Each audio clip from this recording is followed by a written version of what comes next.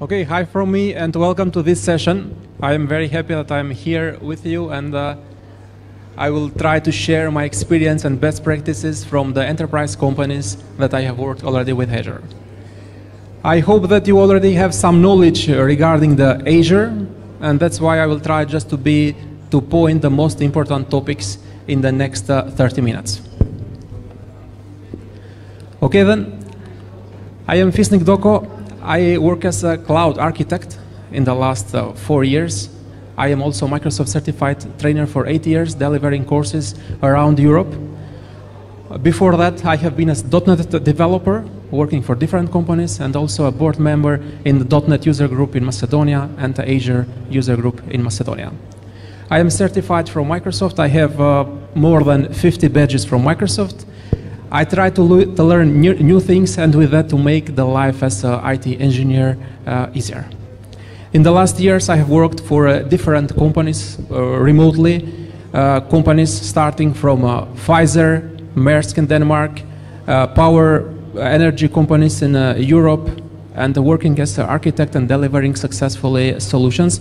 That's why I will try now in the following minutes to, to point these uh, important, important, let's say, things for different resources where I, be, I will be concentrated mostly for uh, developer resources. Because in Azure we have like uh, hundreds of resources. The idea will be just the focus on uh, developer resources. It means you as developer, what you should use, and when using such resources, what uh, configuration or tuning to do there. We will start first with uh, the hosting of uh, various applications. Then we will see some uh, database uh, options there, and also we will see some other optional parts which are mostly for uh, enhancing the applications and making them, let's say, more reliable, faster, and reachable all around the world. I will start first with the app service. Azure App Service is one of the most pillars of Azure for hosting different applications. When talking for different applications, since uh, let's say eight years ago and more, it's supported in the same resource to host different technologies, like starting from a .NET, Java, Python, uh, PHP, and other technologies, all can be hosted here.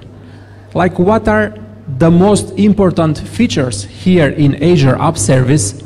In Azure App Service, despite various, let's say, technologies, here automatically Microsoft manages, manages that platform as a service. Once monthly, they do update of that. We don't see nothing, and we as developers just push our code there and it will work.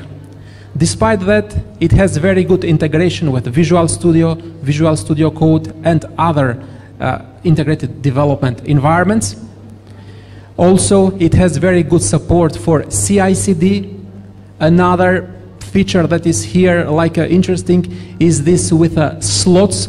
It means in one app service, in that compute, let's say, resource, we can create many slots and on those slots we can test other environments. It has also drawbacks because if you are on production and if you have a compute intensive application, that slot can affect your production environment. That, let's say, you need to be to be uh, clear about that and uh, to be careful if you have especially like Sitecore applications you cannot put in slot because one Sitecore application will take many gigabytes of RAM and then to simulate this with slots or environments you will need multiple uh, app services to simulate that. Another part is uh, uh, scaling. It can scale automatically. You can just configure, let's say in the portal or with infrastructure as a code, that, that if the CPU will be more than 90% for 10 minutes, scale up scale up for one machine, two machines, up to 10 or 20 machines. It means it's very easy to scale up. You don't need to create any load balancer. Automatically will scale up, scale down. You can also put fixed scaling when it should happen. And with that, you will, let's say, don't carry regarding the, the load that will come throughout the day. Despite that, it has feature for uh, APIs and uh, mobile backends. It means app services as such is mainly used for uh, backend server technologies. You can also host there, let's say React and other front-end applications, but mostly it's for back-end technologies. As such, also you can put under functions. We will see that on the next slides. Like what you need to to be more careful when having such a infrastructure on enterprise environments. As a first, you must be sure to use just HTTPS protocol. You must be sure to turn off FTP or to turn on FTPS or disable totally FTPS. Also, very important, you should not uh, expose your application directly. It means if you host something on app service, that can be used like for normal use for small businesses. But if you have a, uh, some important data or if you have a lot of visitors, you should protect this, let's say, with web application firewall, which we will see on the next slides. It means for enterprise, you should not directly expose the app service. Despite that, you can manage cross-origin resource sharing, you should disable uh, remote debugging and also very important like in this resource and other resources is the vnet integration. The vnet integration means to be closed in the vnet to not be directly accessible from internet. For that purpose that can be achieved by using here so-called private endpoints. Private endpoints for inbound and for outbound here should be used the vnet integration. Uh, now it's available also in the basic plans, but it was available just in the premium plans. Or if you have app service created from before, you should put that uh, in a premium plan. And then after the premium plan, you can do the VNet integration. Again, VNet integration is very important for big companies. They don't want nothing to be, uh, let's say, like publicly. They want just one control ingress point and one egress where they will do a full control. Again, speaking for applications that will have a thousand millions of users and will have uh, sensitive data or not sensitive data. Another very interesting uh, point for developers now lastly are the functions, Azure functions or Lambda functions in AWS because you as a developer you will just throw some code there and if anybody will not use that then you will not pay no nothing. Despite that, Microsoft grants like a 1 million executions, which will take like one second per month for free. It means you can have application which will be front-end something in the CDN, backend some such APIs, and you can have an application for free. Again, in enterprise environments, it cannot stay like publicly or consumption-based. It must be integrated in a VNet, and that can be achieved by using a higher uh, pricing tier like using app service or app service plan or using a premium plan for hosting these uh, Azure functions. Azure functions as such will have one trigger, can be HTTP trigger or can be triggered by any data insertion or uh, something else, and then the function will start doing the, the logic. These are mostly event-based, and as such, Azure functions are uh, stateless. If you want to have some workflow or to have a stateful function, then you must use the durable functions.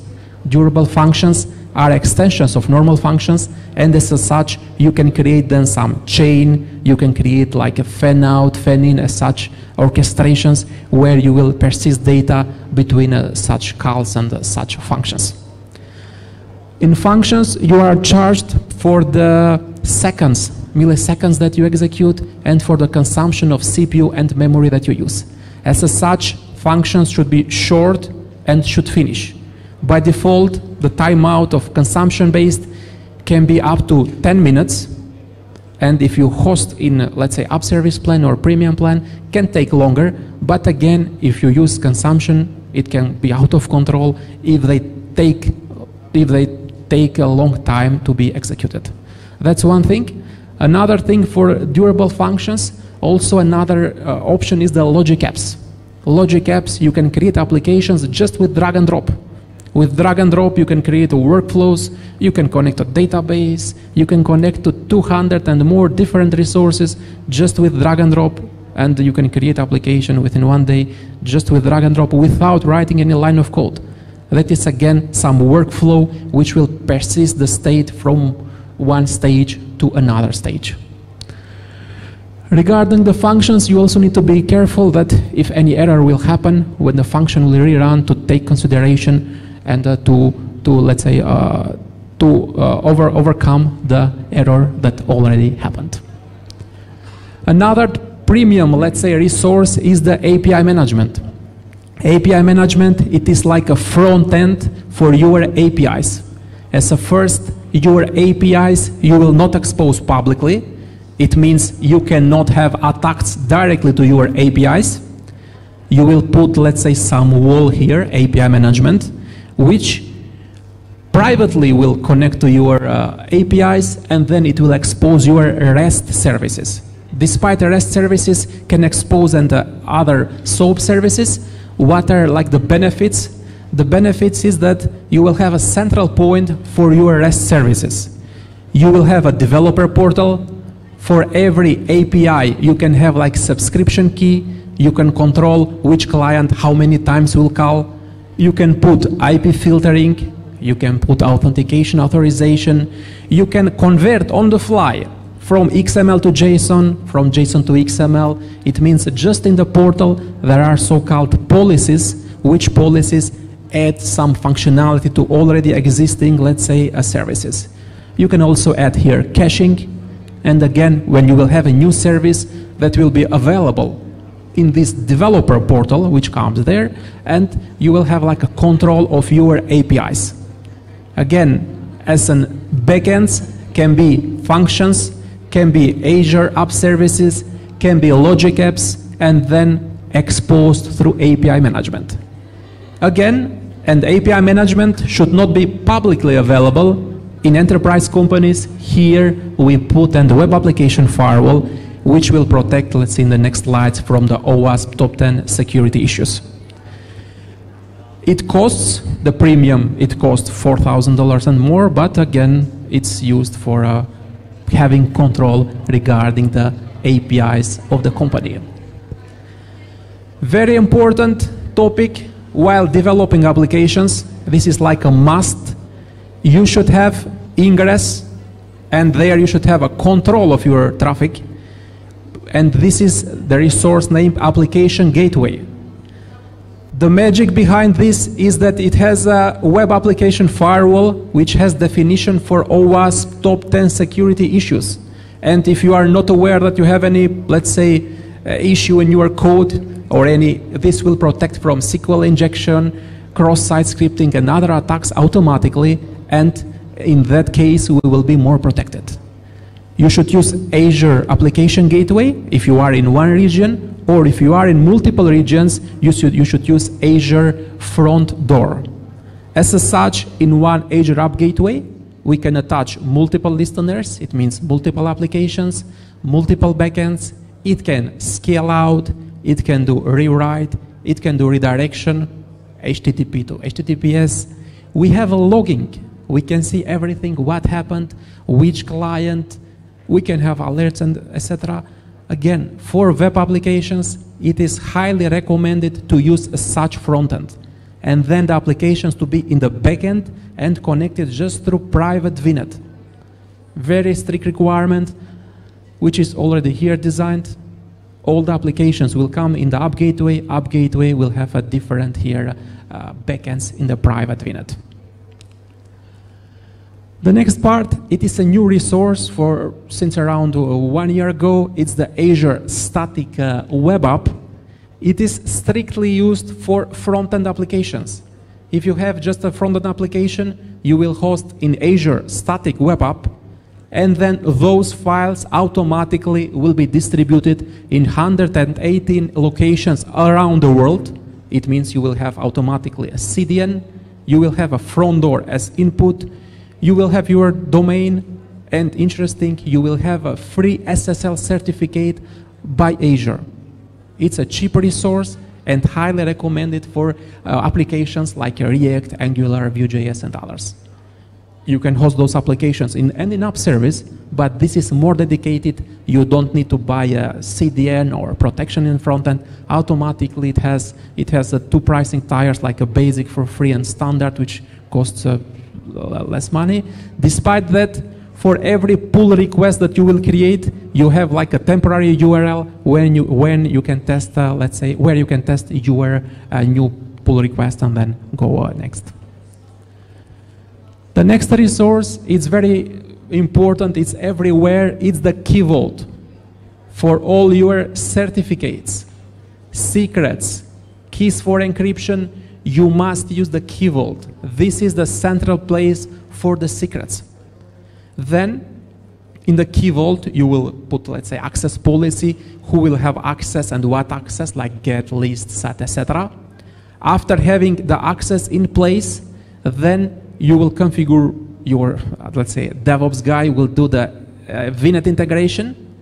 And after that, here you have like a logging who has been there for any secret, what has done, which is the IP. You have the full, let's say, auditing for the operations used here. Again, every sensitive data must be in the key vault. That is an important rule. For the key vault, you should also enable like soft deletion, purge protection, and with that you will be safe if someone accidentally deletes that or does, let's say, any change there. Key Vault, very important for developers, saving secrets, everything must be read from there. Even if you use CI/CD, whenever will be, all the secrets must come from the Key Vault. The next resource is regarding the message-based communication. For message-based communication, we have in Azure like a two queues. Is the service bus queue and the storage queue. Service bus queue is the enterprise one. Normally it costs mostly, but it has some features that the other queue, which is storage queue, doesn't have. The storage queue as such can have a let's say, a bigger size. But what is uh, interesting and important feature for a service bus queue, it is that it guarantees first in, first out, which for financial services is very important. And also it guarantees that the message will be delivered once and just once. It's used for decoupling systems, and the service bus can have like a queue, which is one-to-one, -one, and a topic, which is one-to-many. And here we have like VNet integration for financial services, decoupling systems. This is like a must. That is regarding the service bus. Another important topic which we have everywhere is the Azure storage. Azure storage as such, it can have like a blobs, files, queues, and has like a table where we can put the NoSQL data. For developers, the most used are the blobs. In blobs, everything that you upload in your web applications, you will put in blobs. That can be images, documents, everything will be in a blobs. What you need to do as a first, it has their option for allow public access that must be disabled, TLS must be enforced, HTTP must be enforced, shared access signature or those tokens should be minimized whenever you generate such token you must also put there and appropriate uh, permissions and the appropriate IP and normally you must do VNet integration. It means those resources that we previously saw they will have the appropriate subnet and just that subnet need to have access in your storage account. Despite this subnetting or service endpoint always it's recommended to be with private endpoint. It means private endpoint, whichever resource will be somewhere, we can create like a private IP in any VNet that we want. And with that, it goes totally private, the appropriate resource, which is here the same and for the storage account. Again, important, very used resource for all developers is the storage account. The next topic which you probably mostly have visited, is the Azure SQL. In Azure, there are like uh, three options for using SQL. The older version is by having a virtual machine with installed SQL, which is not recommended. The other version is to use Azure uh, SQL database and SQL server, which is like a PaaS. And there is a SQL managed instance, which is again like a PaaS. But there are some differences between managed instance and between a single. Managed instance, it's mostly like the on-premise SQL. It has features like sending emails. It has features like a cross-database uh, communication, like queries cross-database. and it has like full VNet integration. But for new applications, it's recommended to use Azure uh, single, let's say Azure SQL database, which is more PaaS. It's not originally like the on-premise SQL, but Microsoft manages more, Microsoft optimizes, does recommendation, and then also we can group multiple such servers in Elastic Pool for more cost efficient. In Elastic Pool, we will put, if we have like a different time zones or in different times to be used those loads, then we can be more cost efficient by using the Elastic Pool. For SQL, whichever SQL you will use, you must use auditing, you must enable the transparent data encryption, you must enable the Azure Defender. These are some must rules that in production must be there. Azure will force you to use them, but also if you use PHI data or something, you will have auditing or HIPAA HITRUST standards.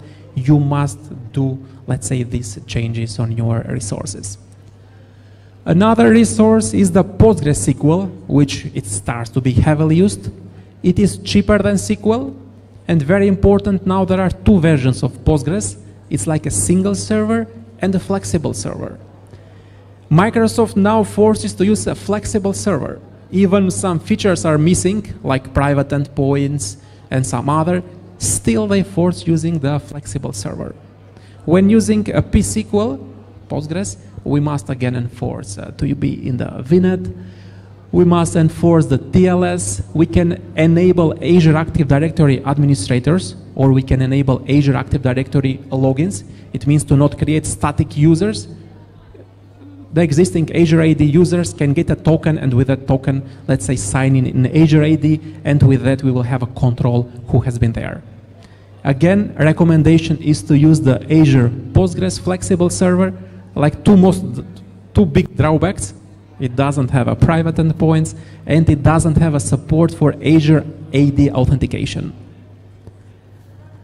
The next and let's say important topic for databases in Azure, it, is, it exists from May 2017, is the Cosmos DB. Cosmos DB, it's a, like a storage, like a database, which can be a, one of five types. Can be like SQL, which is no core database, it's JSON database. Can be uh, despite a SQL, can be MongoDB. It means if you have a MongoDB, you must use Cosmos DB. It can be Table API, Gremlin, or Apache Cassandra. Recommended by Microsoft if you create a new Cosmos DB is to have like a SQL. It's called SQL API. Again, it's a JSON database. This should be used if you have application that will be used throughout the world because just with some clicks you can create a copies of this NoSQL database around the world, which copies can be read-write and can be used for applications which will have like millions of users all around the world, all for backend mobile APIs, because it will be all around the world whenever you want. You click, can be read-write, uh, read-write, uh, let's say, uh, copies of the database. It has a concept of partitioning, which is very important topic there, but we will not go there. Again, if you need your database to be in multiple places all around the world, this is the solution. That is optional thing to enable in multiple regions, but if you have like on-premise MongoDB, you need to migrate there. Again, you have this option in Cosmos DB just to migrate there. Regarding the the synchronization, how fast will happen if you save something in Europe and how fast will be processed, let's say, in USA, for that, we can do by setting up the consistency levels. There are five consistency levels. It means how fast the transactions to be copied in other, let's say, regions, where we can fine tune this and uh, normally have latency with uh, milliseconds, 10 up to 15 milliseconds. Expensive, but powerful. Another important resource for developers is the Redis cache because the database access can take time, those data you can put in Redis cache. This is implementation of, of Apache Redis implemented here in Azure. And as such, it's very easy for you developers. Just connection string, get set keys, you can put there for how time will be, and automatically it is more more faster getting data from Redis than from a database. As such, different tires have different number of connections and different, let's say, size that can save, save there. Despite that, even it is cache, it has, it has in it like a databases. Like a premium cache has around 20 databases, and it happens for special purposes. Developers want like to have uh, some data in a, in one database, other data in another database to be and more more optimized. Here the trick is just with key value, key value, and within the key we can do some hierarchy, like write some name, call another name, and then we can have some type of the hierarchy. Uh, we, ha we had such situation in Maersk, the Danish company for containers, where for Cosmos we paid too much money and then we did optimization for less less money just by saving data here in, uh, in the Redis cache. Another very trendy uh, resource is the Azure Container Registry. Probably you have used the Docker Hub.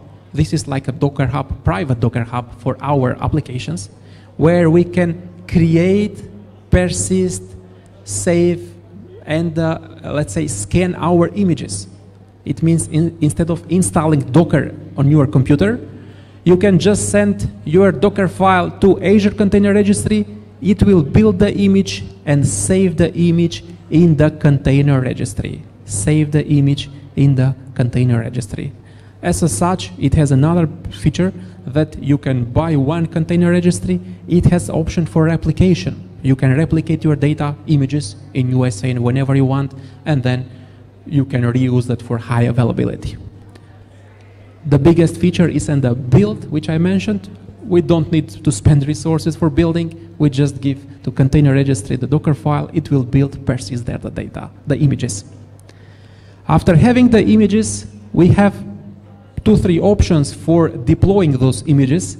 For dev and test purposes, again, just for dev and test purposes, is the Azure Container Instance. Azure Container Instance is very fast resource. Within a minute, our uh, container image will be up. We'll have its public IP and uh, let's say custom domain, but it cannot have a SSL certificate. Again, that's why I said for dev and test, cheap resource, you will have your resources, do, do tests there. By default, it supports one container image to deploy, if your application will have multiple images, then you need to use container group, which has like a, two options for deploying that with YAML or with uh, ARM.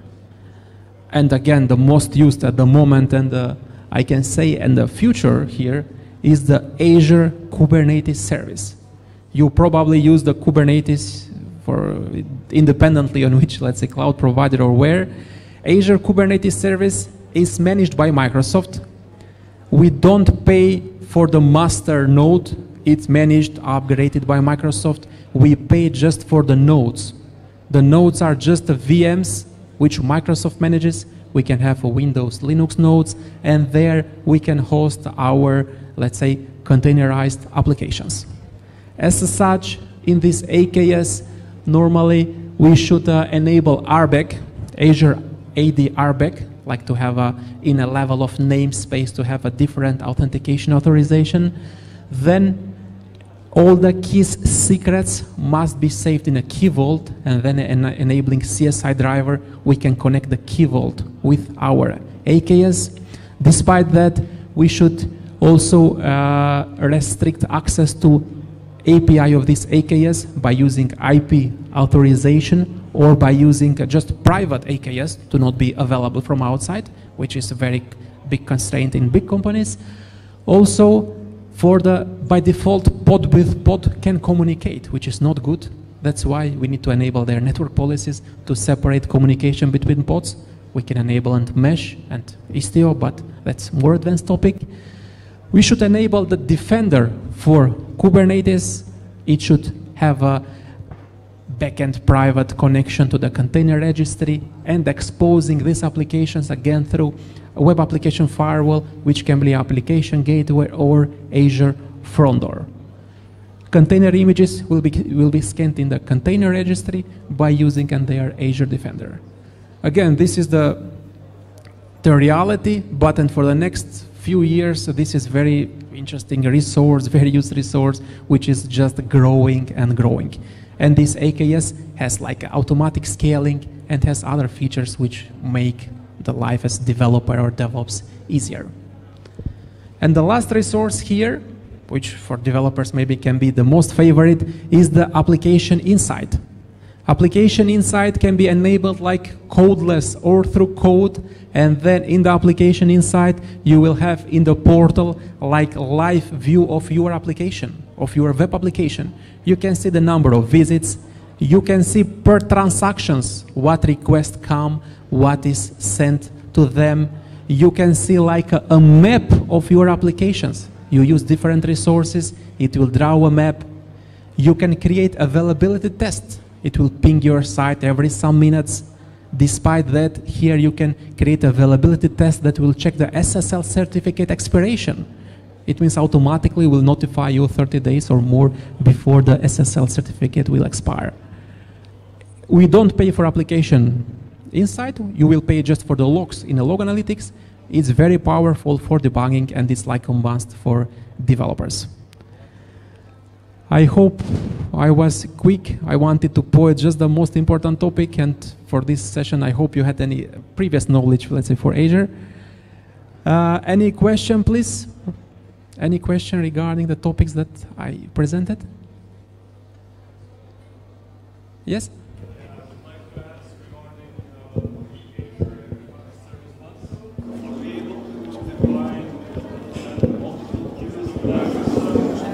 Correct, yes. It, correct. In one Azure Service Bus namespace that is called Azure Service Bus namespace, we can have a multiple queues and a multiple topics.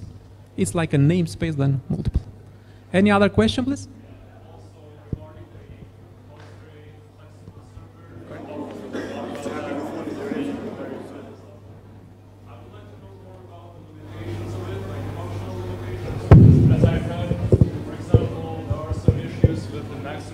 And I think correct. Regarding the maximum connection, yes.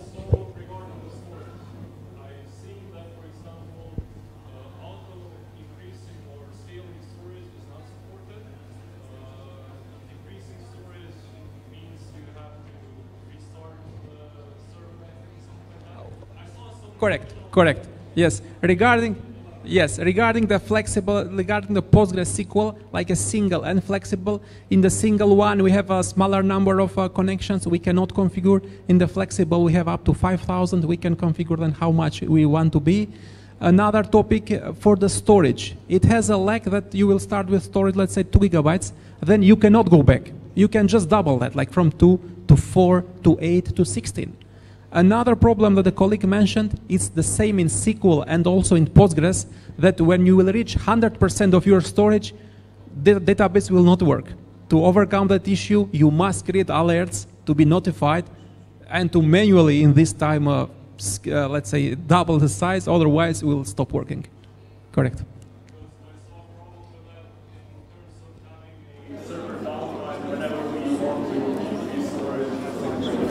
Correct correct. And also in flexible server, there is an option for a maintenance. You can define where will be maintained by, by Microsoft. You can set that want just on Sunday. And also the flexible server has the option start stop. You can start to pay less money, which in single server you don't have.